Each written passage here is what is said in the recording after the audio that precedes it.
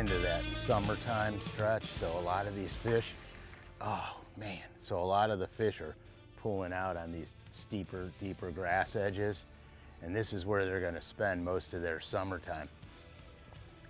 And basically, all I'm doing is finding the grass that comes out the farthest and concentrating on those areas because they're high percentage areas. The fish are gonna use them and move around on them a lot. Now the cool thing with this technique is I'm actually working it towards the boat. I'm not just casting it out, letting it sink and then making another cast. I'm actually working it down the grass towards, towards me. Oh, I just had a bite. Working it towards me because I'm covering the depleting edge. It's not a stark edge, it's depleting. It's gradually going down. There we go. Man alive, I had to wait for that thing to fall off that grass edge. And that fish, it just got heavy. That's all it did was get heavy. And here's the thing, uh, on this flick shake rig, a lot of guys have the idea that you only catch small bass with it, but that's not entirely true. That's not terrible. Come over here. That's not too bad. But that's what I'm doing. I'm just, I'm feathering it down those grass edges. And when I pull the rod, the whole key, keep the rod up, let the bait fall. Bring it up, let the bait fall. As that grass stair steps down, your bait's walking down the steps with it. It's a very subtle presentation and the fish can't resist it. And this five inch dinger on this flick shake is just, it's just money. There we go.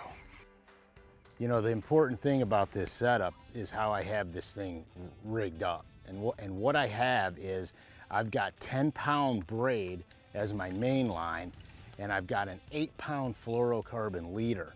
And about, you know, maybe 18 inches above my 18 inches above my flick shake head, I have a swivel, a micro swivel.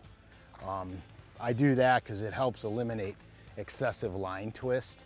But the key really is the, is the 10 pound braid to the eight pound fluorocarbon. That gives you great sensitivity. Plus the 10 pound braid is so super thin that it lets that bait fall naturally. And as it falls, the legs on the Yum Dinger move kind of wildly and the dinger swings because of the weight on it. It's really a, it's a really neat deal, but I found that the braided line really helps that because of the thinness of it. And the lack of stretch gives you the ability to lean in on the fish instead of reeling down and cracking them, which you don't want to do with a flick shake head. There we go, that's a good one. Did you see that fish jump like that? So here we are. We're, remember, clear northern grass lakes, tapering weed edges, flick shake, five inch yum dinger. And you could take care of business all day long on these lakes, even in the dog days of summer. Oh, this just never gets old. It just never gets old.